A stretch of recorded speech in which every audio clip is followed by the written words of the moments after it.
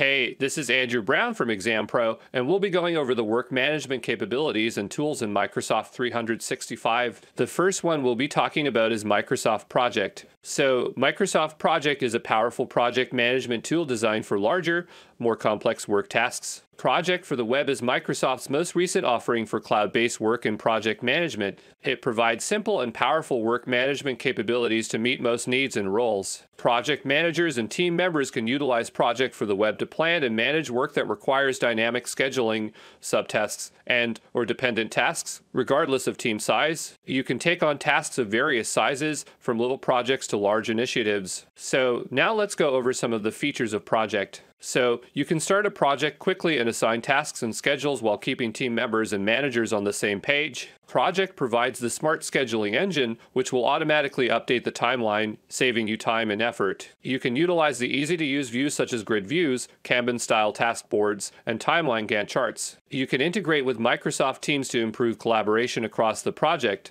In Power BI, you can create attractive interactive dashboards to see every aspect of the project at a glance. Finally, it's extensible with other platform apps and data because Project is built on the Power Platform. So that's Microsoft Project.